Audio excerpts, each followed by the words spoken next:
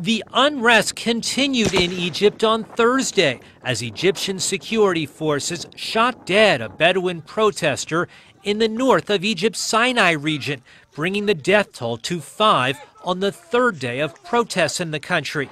In the city of Suez, police fired rubber bullets and tear gas at hundreds of demonstrators calling for an end to President Hosni Mubarak's 30 year old rule. Amid the escalating political unrest, opposition leader Mohammed El Baradei, a Nobel laureate, arrived in Cairo and said, quote, there is no going back on change.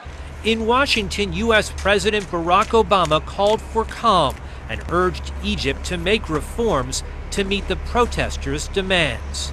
My main hope right now is, is that violence uh, is not the answer uh, in solving these problems in Egypt. Uh, so the government has to be careful about not resorting to violence, and the people on the streets have to be careful about not resorting to violence.